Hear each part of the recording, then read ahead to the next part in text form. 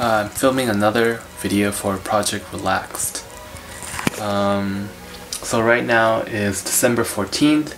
This is considered week 12. Um, still super stressed out um, this week because uh, a lot of stuff to do.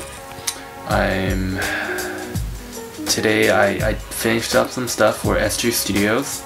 Um, still have more stuff for retroactive to do and I'm way behind on letterbrush orders. I have a lot of orders. I have 21 orders so far in December and um, yeah, I'm behind on some and Christmas is next week and you know I just have a lot to do. Um, so this week has been pretty fun. I guess some things worth mentioning are the Spartan run I did last week and that was pretty fun. I went up to LA and stuff oh, I, I hear a little bit of sickness. Um, uh, another thing I did was I went to the Queen Mary uh, on a date with this girl I met at uh, at CTN, and that was pretty fun. We had a pretty good time. Um, during the date, I did get this feeling. I, I thought she was really cute. She was gorgeous. Uh, I got this feeling that I, I don't know if we clicked clicked really well.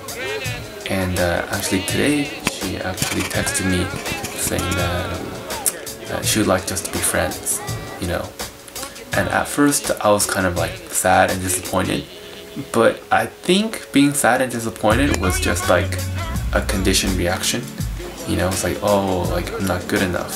Like that's that's like the involuntary response that I get.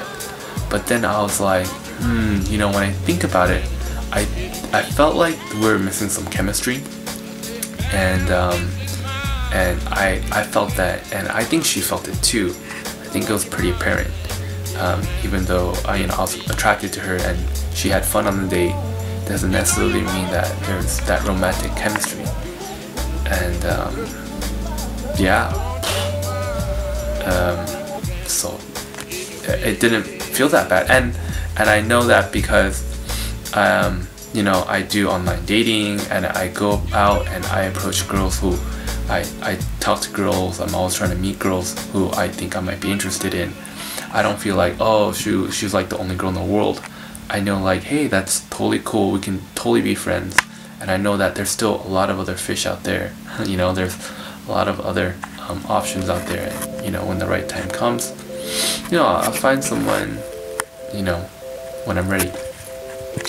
Uh, let's see, also went to this uh, dinner banquet thing with my dad. Um, company event, magic show. It was pretty fun.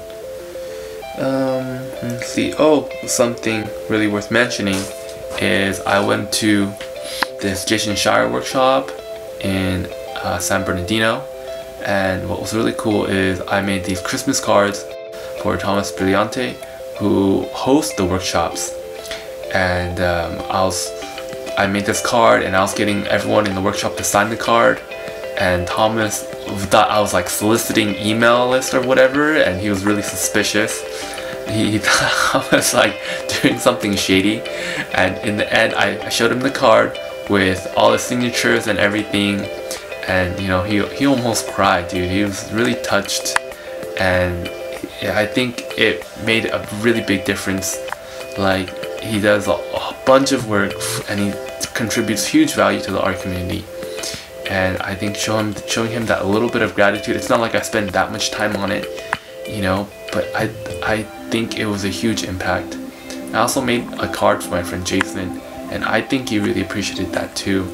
Um, my friend Jason, he's just a really nice guy overall, dude. He's so respectful and kind uh, of everyone. He's someone I really admire as like a person, you know, not just as an artist. He's, he's a great guy. Um, let me see. Oh, recently I've been reading this book called Can't Buy Me Like, alright?